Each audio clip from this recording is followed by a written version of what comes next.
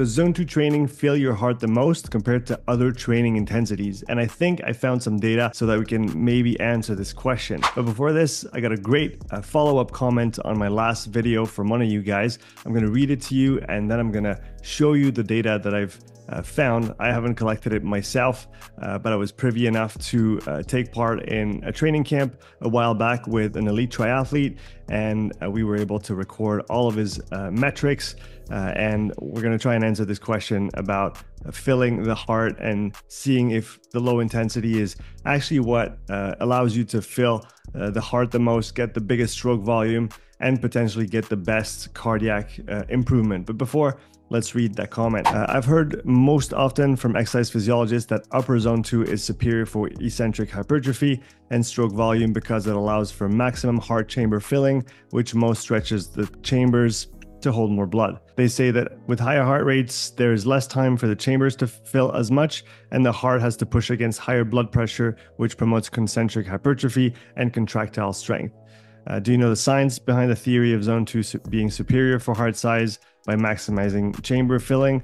Maybe you can explain it in your 80 20 video since stroke volume is a key reason for the 80% of zone 2 training. So I don't know if I agree with that last part that the 80% zone 2 training recommendation is typically uh, only linked to uh, heart size development, but I'm not going to get ahead of myself.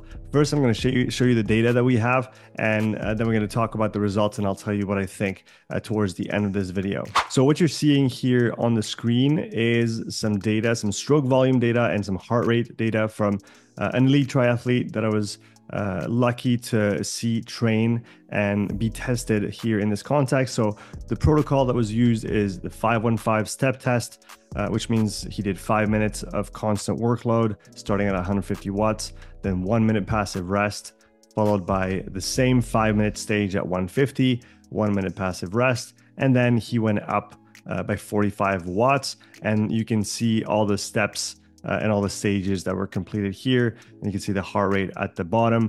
I've also put as a reference a rough estimation of his threshold one and his threshold two. Uh, and if we think about zone two being, uh, I guess for some just below threshold one, for others just around uh, threshold one, I think that's going to start giving us some uh, some answers to our question whether or not zone two is the best intensity for growing the heart. So as you can see here, and I, I um, unfortunately don't have all the detailed metrics of that graph, but what we can clearly see and uh, what I have is one of the maximal values that we measured on this test which is 168 milliliters. That's the stroke volume. So that's how much blood was pumped uh, out of the heart in each beat that was measured with uh, a pretty expensive medical device that the athlete wore on uh, his chest. Many different sensors. It took a while to calibrate to set up, uh, but I was with some experts in the field, and uh, so they they set it up. And as you can see, it seems like uh, the stroke volume keeps rising with the intensity, and we seem to reach the maximal values in stroke volume towards the second threshold. Now, the last two stages were not, uh, the last stage, I don't believe, was uh, fully completed. And uh, I believe in the conversation that followed this test, the hypothesis regarding the drop in stroke volume towards the end was to do with uh, respiratory coordination more than with the actual uh, heart rate itself, so meaning that the speed at which the athlete had to ventilate at that high intensity, which he's not uh, used to because it's just not what his sport demands of him.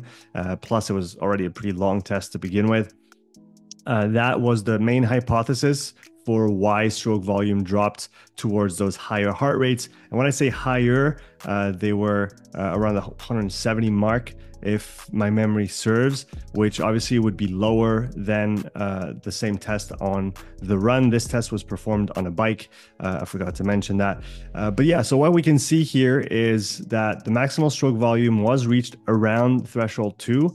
And if we were to look at the lower intensity, uh, it seems like we're a little bit below. By by how much? Again, uh, unfortunately, at this point in time, I don't have all the detailed uh, data on this graph, uh, but it seems to be a little bit less, at least a little bit less.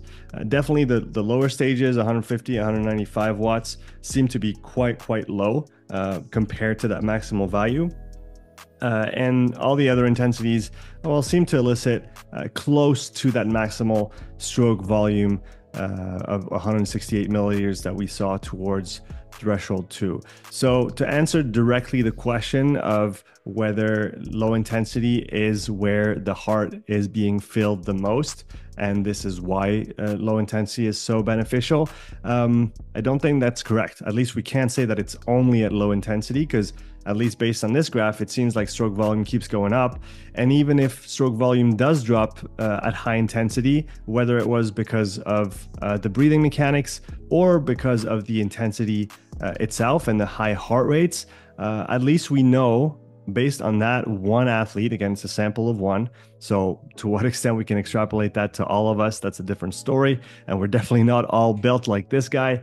Uh, but we know that uh, the, the maximum heart filling is going to happen, let's say between zone two and zone four. Uh, it seems to be pretty, pretty straightforward from that standpoint. Now, going back to the conversation of, uh, again, whether it's really that low intensity that allows for maximum heart filling, well, it seems like it gets pretty close, right? So you're going to get close to maximal stroke volume, uh, even at low intensity. Uh, but I think the again the, the bigger conversation and that's something i touched on in one of my previous videos on uh, vo2 max studies uh, in my opinion what sticks out here is that uh, well sure you can build your stroke volume at medium or low intensity uh, but obviously that medium intensity is going to cost you a lot more uh, energetically and you, are not going to be able to do it every single day whereas the low intensity you can do uh, whenever you want uh, and you can do as long as you can eat enough to support the training uh, if, if we push it to the limit uh, so I, I don't think we can say that low intensity is the best for uh, filling up the heart. But what we can say uh, most likely is that low intensity is the best to fill up the heart and spend the most time there because we know that time is going to be one of the biggest drivers of adaptation, right? And by spending more time at low intensity with that near to maximal stroke volume, well, that's probably what's going to help uh, driving that stroke volume up over time by growing the heart, that eccentric hypertrophy that we talked about. Uh, this is likely what's going to happen, uh, but it's really a factor of time, right? It's not just a matter of doing a couple sessions and having a bigger heart. It's going to take months, it's going to take years. And this is why we see uh, the best uh, endurance athletes have many, many years of, of, of sustained and regular training uh, behind them. And I think that is probably the message here is that if you want a bigger heart, you need to train, but you also need to train sustainably and you need to train for months and years if you want to get there. It's not just one magic training session, one magic intensity that's going to get you there. Uh, I hope I was able to provide some answers to that uh, great question. Uh, thanks so much for the follow up. Make sure you keep commenting. I'm really enjoying the exchanges uh, in the comments, reading you guys and trying to figure out the next video, the next topic, and uh, how to answer uh, those questions. So keep them coming. I look forward to making some more videos. I'll see you in the next one.